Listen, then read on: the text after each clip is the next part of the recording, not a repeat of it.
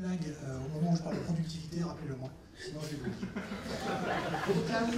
En 1999, il y a un professeur de MIT qui s'appelle Neil Gershenfeld qui a créé un cours qui s'appelait How to make almost everything. Comment fabriquer presque n'importe quoi. Il s'est rendu compte qu'au MIT, ils avaient des machines-outils à commande numérique qui ne servaient pas toujours. Et il s'est dit, je vais prendre des étudiants et euh, je vais leur montrer comment marchent les machines et je vais les laisser les utiliser pour voir ce qui en ressort.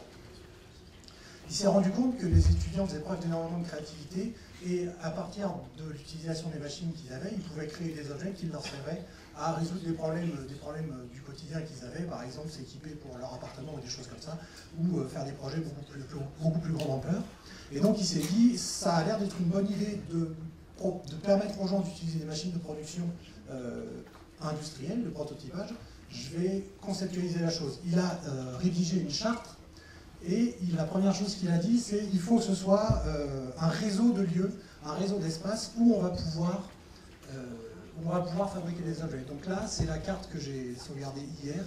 On est à plus de 500 lieux dans le monde entier, il y en a beaucoup en Europe, mais à part, à part le Groenland et l'Antarctique, il n'y a pas de continent qui n'ait pas de Fab Lab au jour, à ce jour. On joue avec mes shorts, mais c'est calme quand même l'Antarctique hein, en général. Euh, il a écrit une charte qui guide le fonctionnement de ces lieux et qui dit quelles sont les conditions d'utilisation et les conditions de fonctionnement du lieu. Cette charte, euh, nous au FACLAB, on l'avait résumée en trois euh, impératifs moraux qui sont participer, partager, documenter. Quand les gens venaient au Fab Lab, on, on attendait d'eux qu'ils participent à la vie du lieu. C'est-à-dire qu'ils prennent le temps de ranger quand il y avait des choses à ranger, qu'ils prennent le temps d'entretenir les machines, qu'ils prennent le temps d'expliquer ce qu'ils faisaient et de collaborer les uns avec les autres. Qu'ils prennent le temps de partager, qu'ils prennent le temps, donc je l'ai dit, de collaborer ensemble, d'expliquer ce qu'ils font, de partager des moments ensemble, de prendre juste le temps de manger et de discuter, de rêver sur les leur projet et de faire émerger des collaborations qui étaient, euh, qui étaient inattendues.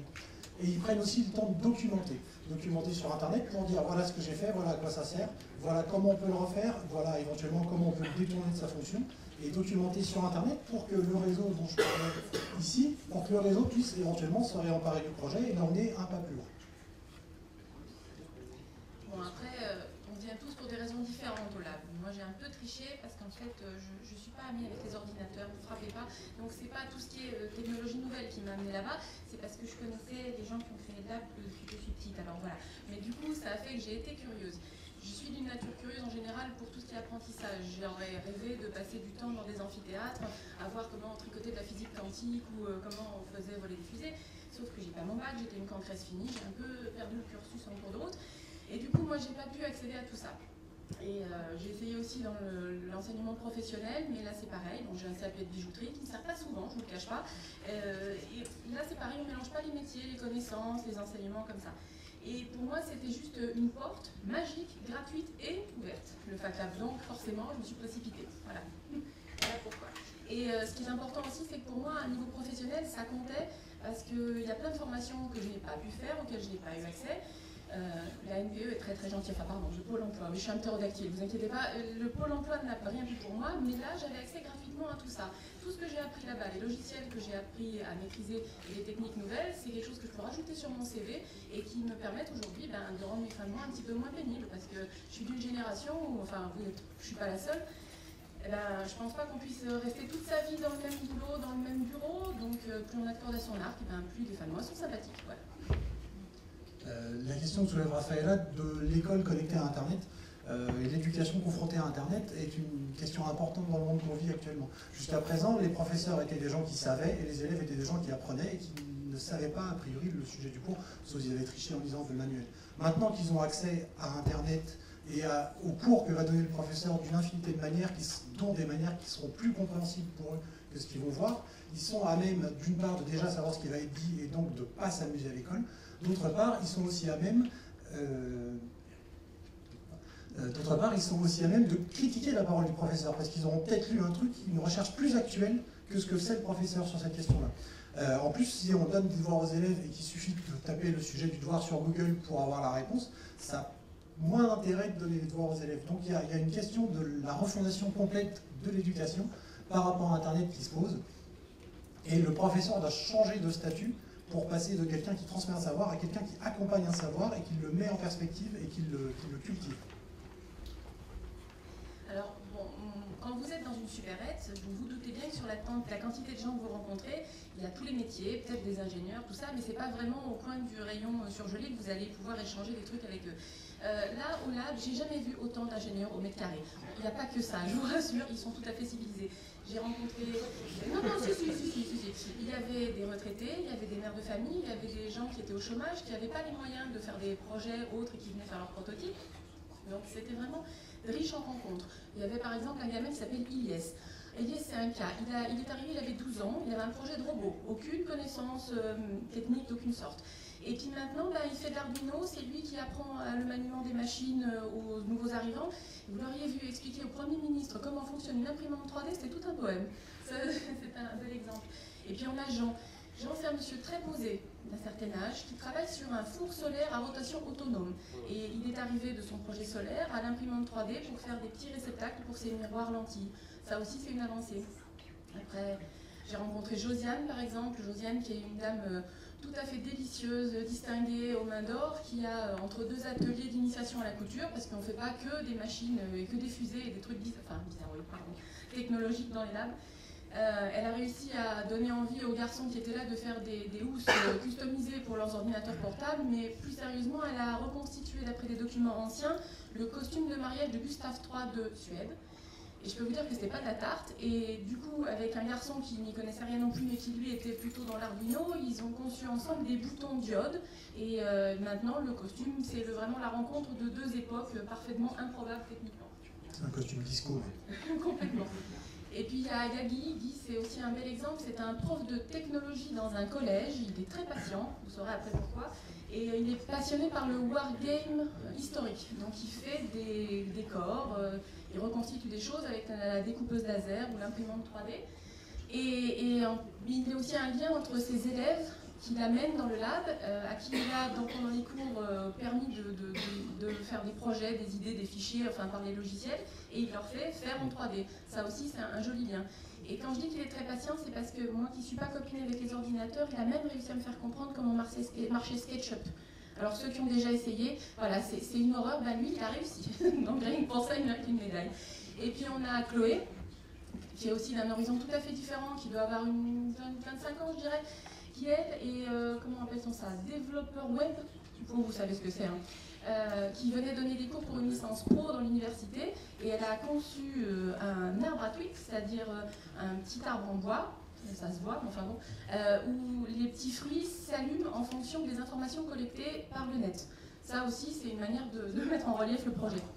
Et puis, euh, on a Julien. Julien, c'est aussi un, cas génial, c'est un artiste et un prof avec une, euh, comment appelle-t-on ça, qui est spécialisé dans la robotique euh, il a construit sa première RepRap, il a dit c'est bien, mais on peut faire mieux. Il en a fait une autre, puis une autre, il en a sa quatrième. Là, il, s'est fait financer par KissKiss Bank, Bank, je vais y arriver, euh, la dernière qui s'appelle la DOM. Et euh, sa dernière action sociale, si je puis dire, parce que beaucoup de gens ont aussi des, vocations, c'est d'aller au Togo, dans le premier FACTAB du Togo, partager ses connaissances et son savoir. Voilà. Et puis des, des rencontres comme ça, vous en faites tout le temps que ce soit Adèle qui m'a expliqué comment marchait la caméo, pour ceux qui savent, c'est-à-dire la découpeuse vinyle, ceux qui m'ont donné des fleurs pour euh, le potager flottant que j'ai bricolé, euh, ceux qui m'ont expliqué comment fonctionnaient les ciseaux à bois, ce qui fait que j'ai encore tous mes doigts, parce que ça, je vous garantis, c'était pas, pas une paire de planches. Les Fab Labs, c'est un lieu où on peut faire énormément de rencontres. Si on regarde historiquement les lieux de socialisation qui existaient dans le passé, euh, il y avait le village et les champs où les, les gens qui étaient majoritairement paysans pouvaient échanger des informations et euh, se connaître les uns les autres, échanger des idées et améliorer des techniques, progresser, progresser. Au 19e siècle, il a commencé à, ça a commencé à être remplacé par l'usine, puisque les patrons logeaient les ouvriers, du coup tout le monde était encore ensemble et travaillait sur le même lieu, habitait sur le même lieu. Euh, au début du XXe siècle, on a eu les cafés et de moins en moins de gens se parlent les uns aux autres dans les cafés, parce qu'en général on a la tête dans l'ordinateur ou le téléphone. Et donc il n'y a plus réellement de lieux qui existent de nos jours où des gens qui vivent dans un même espace sont à, même de discuter entre eux. On occupe un espace, mais on ne s'y croise pas forcément. au fait, tu voulais pas parler de productivité à un moment? Oui, mais plus tard. Bon, d'accord. Là, vous avez un exemple.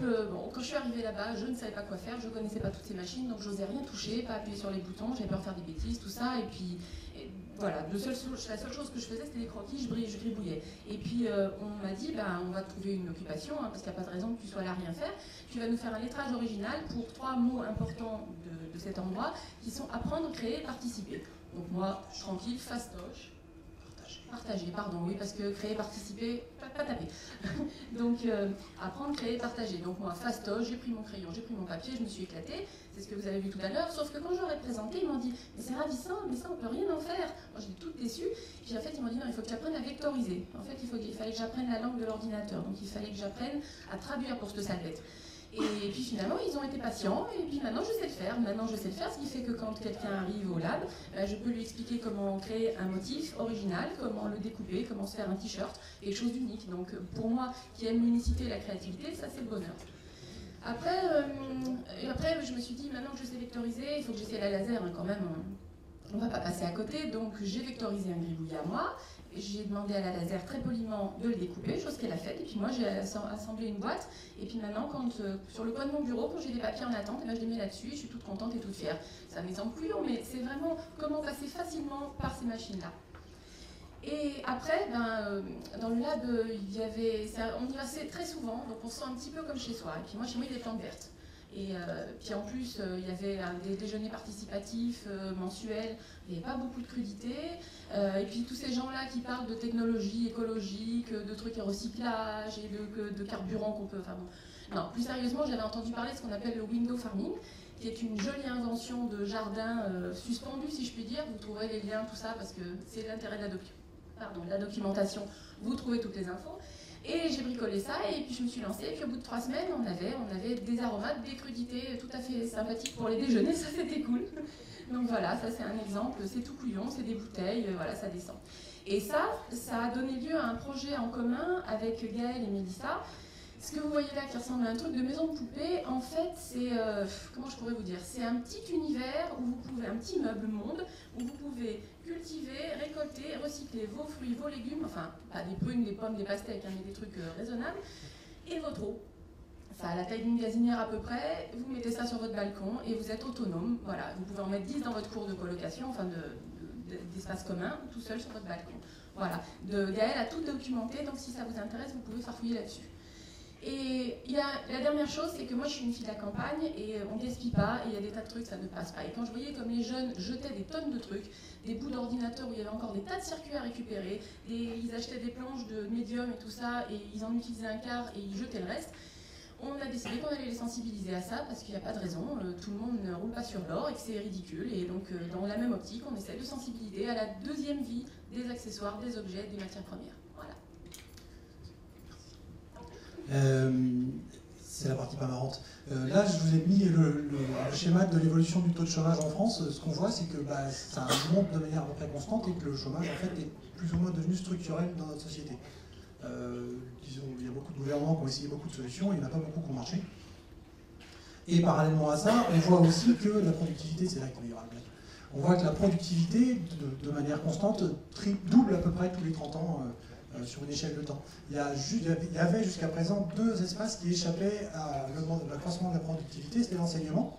Euh, mais l'enseignement, ils ont inventé les MOOC maintenant, les, cours en ligne massifs, et où, au lieu d'avoir dans un amphi 500 étudiants, ben, on peut rassembler 30 000 étudiants sur Internet. Donc ça, ça fait un gain de productivité énorme pour les professeurs. Forcément, le, taux d'emploi des professeurs risque d'avoir à peu près la même courbe inverse que ça. Il y a un deuxième domaine dans lequel ils n'ont pas réussi à faire trop trop de gains de productivité, c'est le spectacle vivant. Euh, ils ont essayé de demander à moins de musiciens de jouer des notes plus vite, mais ça n'a pas marché. C'était la blague. Euh, et ce qu'on sait aussi, c'est que c'est pas parce que vous n'avez pas d'emploi que vous n'avez pas un travail. Par exemple, les mères de famille, jusqu'à récemment, qui faisaient le ménage tout seuls, maintenant les hommes commencent à s'y mettre un peu, euh, savent très bien qu'elles avaient beaucoup de travail et pas forcément beaucoup de beaucoup d'emplois. Euh, un autre exemple, c'est euh, ça, c'est une photo de femme de Barn Rising.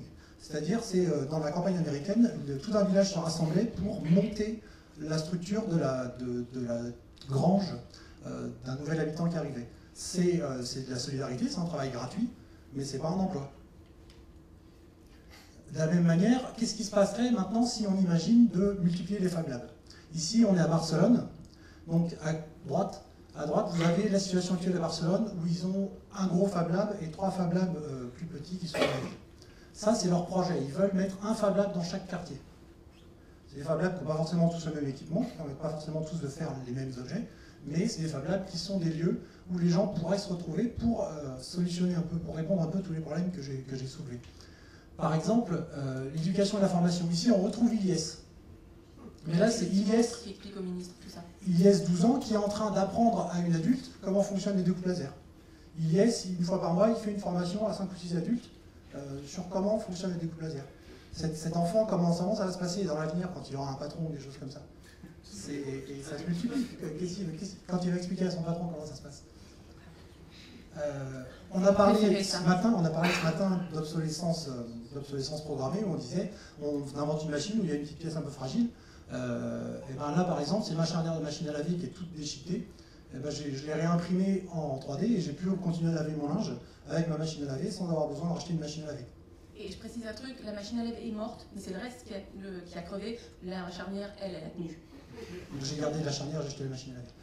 Euh, si on sait, si on sait utiliser une, une imprimante 3D ou un tour numérique, des choses comme ça, la petite pièce dont on parlait ce matin qui a cassé, eh ben, on peut la refaire, même si elle est plus produite. On a les deux morceaux devant les mains, eh ben, on mesure, on regarde comment ça marche et on la remplace. Ça repose à nouveau la question de l'emploi, parce que si au lieu de racheter une machine, ben, je construis une petite pièce à moi-même, du coup ça veut dire qu'il y a moins de machines produites, donc on augmente le chômage. Euh, L'intergénération et le vivre ensemble. Là, on a une photo avec un jeune et des vieux. Et ben, Fais attention à ce que tu dis. ah non, c'est le Premier ministre, c'est pas toi. Euh, Est-ce qu'il y a beaucoup de lieux en France où on peut, euh, ou en France ou dans le monde, où on peut se retrouver entre générations pour échanger des savoirs Pour que les jeunes expliquent, eh ben, grand-père, voilà comment ça marche une imprimante 3D, et que le grand-père dise, attends, moi je te montre comment marche un ciseau à bois et comment marche un tour numérique, j'ai des tourneurs quand j'étais jeune. Comment est-ce qu'on peut échanger des savoirs comme ça Tous les retraités qui n'ont plus d'emploi, qui peuvent encore avoir du travail, comment est-ce qu'ils font pour échanger les savoirs qu'ils ont capitalisés pendant tout- tout- toute leur vie? Euh, deux exemples pour euh, l'innovation. On va même tenir les 18 minutes, on est fort. Deux exemples d'innovation. Parce que si on met dans les, mains des gens des outils de production, euh, ben, ils vont commencer à avoir envie de fabriquer des choses, les fourbes. Par exemple, ici, c'est le Minecraphone. C'est un truc tout bête. C'est des, des piliers en bois, en bambou, et des bouts de plastique qu'on peut fabriquer. Euh, c'est propulsé par le vent, et on balance ça dans un désert qui est blindé de mines, et ça fait exploser les mines. Il suffit de remplacer les deux, trois pieds qu'on sautait, et on a une mine en moins. C'est poétique, c'est pas très drôle, mais très utile. C'est efficace. Euh, je suis désolé, les deux exemples que j'ai pris, c'est toujours des mines. Parce que là, c'est un projet du Fab Lab d'Amsterdam où euh, eh ben, ils ont un projet de prothèse de jambe à 50 dollars. Une prothèse de jambe, ça coûte 5000 dollars. C'est fait par des laboratoires et tout ça. Avec l'impression 3D, ils en font pour 50 dollars. Elles sont moins, efficaces que euh, les prothèses tip-top hyper équilibrées qui font sur mesure. Elles sont suffisamment efficaces pour que le mec qui a plus de jambes, eh ben, il marche mieux. Voilà, à vous de jouer.